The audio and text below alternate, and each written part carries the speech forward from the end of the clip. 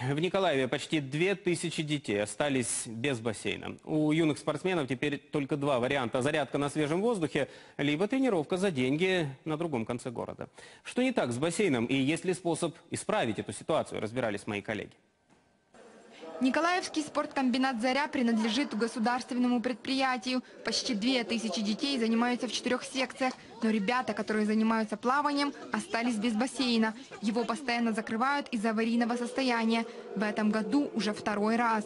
Каждый год, 4 года подряд, новая смета на ремонт, новая проблема по поводу ремонта. Производится какой-то ремонт, проходит полгода, опять бассейн закрывается на ремонт. На очередной какой-то ремонт. Мы выкручиваемся как? Занимаемся с детками в тренажерных залах, малых залах, залы аэробики, футбольные поля вот сзади нас находятся.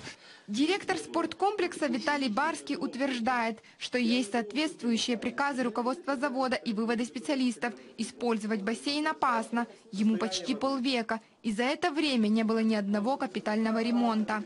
Экспертная комиссия даст правильный ответ, имеем право мы эксплуатировать или не имеем.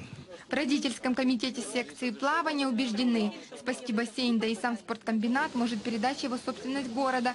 С этим предложением они уже обращались в мэрию. Там инициативу рассмотрели и вышли на переговоры с руководством завода. Поля в таком состоянии, как они существуют, они не требуют, э, скажем, особого вложения.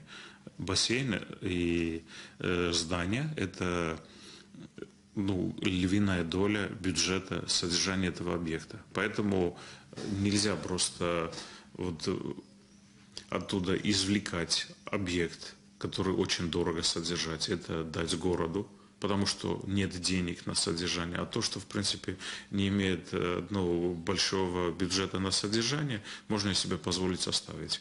Судьба бассейна для юных пловцов теперь зависит от того, договорятся ли город и руководство завода. Марина Григорян, Марина Михайловская, Алексей Уманский. Подробности телеканал Интер Николаев.